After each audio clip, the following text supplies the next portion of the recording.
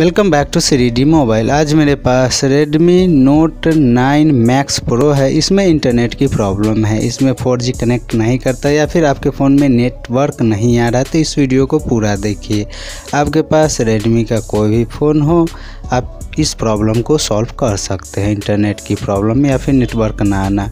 खास करके अगर आपके पास जियो का सिम है तो आप पूरा ध्यान से देखेंगे इस वीडियो को। इसके लिए आपको सिंपली क्या करना है, अपने फ़ोन को सबसे पहले इंटरनेट ऑन कर लेना है, ऊपर से और सेटिंग के अंदर जाना है। सेटिंग में जाएँगे तो SIM card and mobile network वाले ऑप्शन पे क्लिक करने के बाद मेरे मोबाइल में जिस मैं इंटरनेट चलाता हूँ, एक फ़र्स्ट स्लॉट में सिम कार्ड इंसर्ट किया गया है। तो सबसे पहले आपको क्लिक करना है वोल्टी इसे ऑन कर लेना है।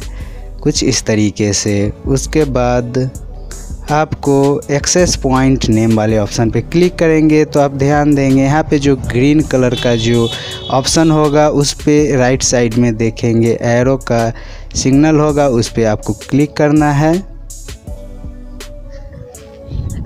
कुछ इस तरीके से आप नीचे की ओर जाएँगे तो देखेंगे ए पी एन प्रोटोकॉल और ए पी रॉबिंग प्रोटोकॉल दोनों को I P V P four by I P V P six कर देना है। कुछ इस तरीके से, जैसा कि आप अपने स्क्रीन पे देख पा रहे हैं। और उसके बाद मोर के ऑप्शन पर क्लिक करके सेव कर लेना है। उसके बाद यहाँ से आपको बैक कर लेना है।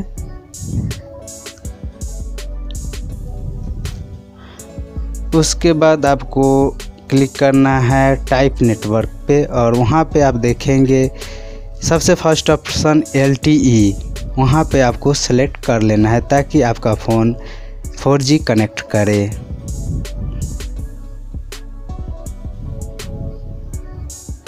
उसके बाद आपको बैक करना है और नीचे की ओर जाएँगे।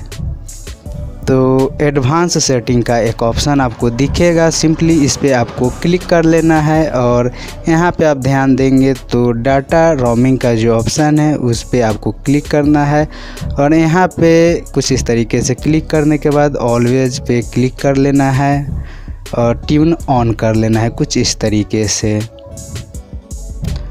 उसके बाद यहाँ से आपको बैक करना है।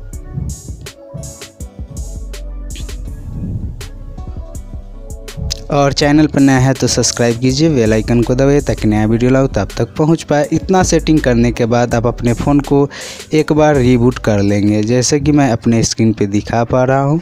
कुछ इस तरीके से। वीडियो अच्छा लगे तो एक लाइक कीजिए। चलिए मिलते हैं इसके नेक्स्ट वीडियो में। तब तक के लिए बाय बाय